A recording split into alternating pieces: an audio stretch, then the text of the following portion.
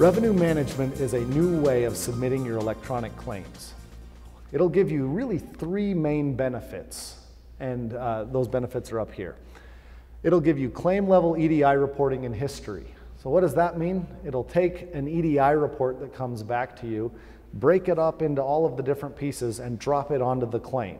So if you are working your rejections, you don't have to go back and forth from a report to the system. The system has all of the information that's applicable for that claim right there on the claim. It also gives you pre-claim editing.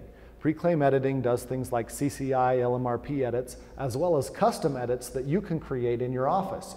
If you can say, I know that these claims that I'm doing have to have this, you can create that edit and have all of the claims go through a scrub so that a claim does not go out without your approval based on the scrubbing that you've set up. It also gives flexible ERA posting, and I'll talk about those in a little bit more detail as I show them up on the screen. So here's the new revenue management screen that lists out all the claims that we have. It's very similar to claim management that you've seen before, where we have different listings for each claim that is created. What you'll see right here is the edit status from the pre-claim editing. Right now, all of these claims have not been checked. You, you, they haven't been scrubbed. Let's move on to the next screen.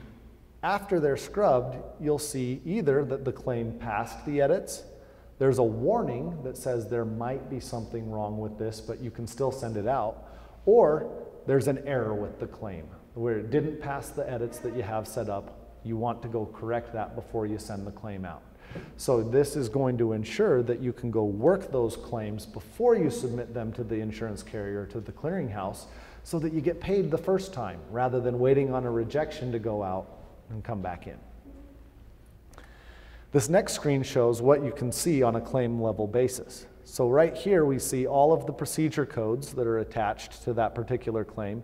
You also have a history tab that'll show you when the claim was submitted, any scrubbing that was done on it, and any reports that come back, including your remittance. So all of that's listed here on this history tab. When you click there, it'll tell you the exact dates that each of those different steps happened.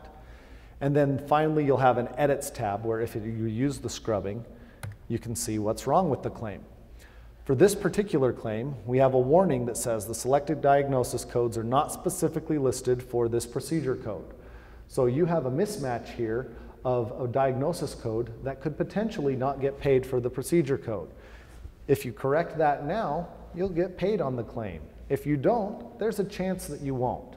So that's another way that Medisoft is looking to give you the tools that you need to get paid faster so that your office maintains the cash flow that you need to stay financially viable.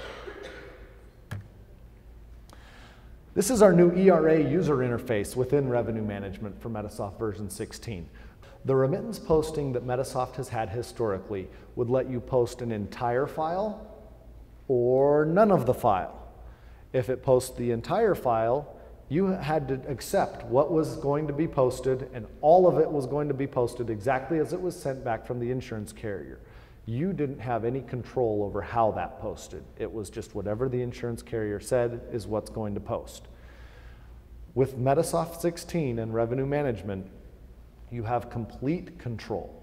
What the remittance is going to do is read into this, and you have the ability to say, you know what? I don't want to post this payment. I'm going to leave it off. It's wrong. I need to fix it. I need to change it. I'm going to post it the way that I want to. This is, this is going to be critical because there are mistakes that come in these files. There are some times where you've deleted a charge somewhere and it comes back and it tries to post the remittance to the wrong charge or it doesn't know where to post it. You don't know how to get it in. Our remittance posting system now will let you go specify where you want to post that particular line item. So there's things like that. We're giving you control over it. One, it increases the responsibility on you because if you change something, then there's not really all that much that the insurance carrier or we can do about it. But it does give you the flexibility to make the changes that you need to the file as it comes in.